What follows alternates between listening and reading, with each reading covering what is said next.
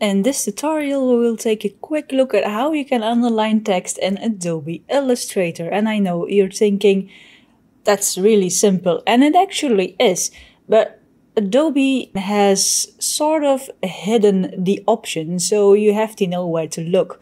And you can go to window so window and choose type and then you choose character and it automatically opens your character option. Now you also have character in your properties, so you can use both. Um, in the separate window, you can choose show options with this little hamburger icon, and then you see you have a lot more options. And when you have your properties character option, you can press these three buttons, which also opens more options for you. Now, if you have your text box selected and then you click this little underline option, this one here, as you can see, it underlines your entire text. Now, this underline follows the color of your text. So if your text is blue, your line will also be blue. You cannot really adjust this line. Uh, you can make it bigger, thicker, or whatever. It follows the text. It follows the color of your text and it's just a simple underline. Now, if I Control Command Z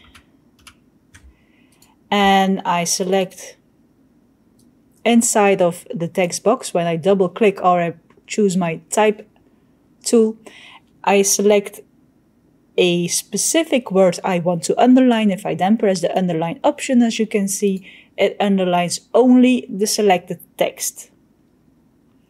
So it is simple, uh, it is quick, but you have to know where to find it because Illustrator kind of hides it.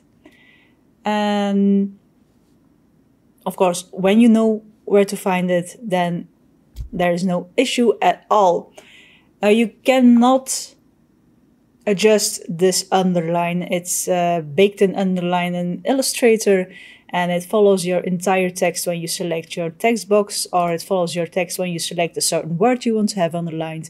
It follows the color of your text. Um, there's nothing you can adjust there.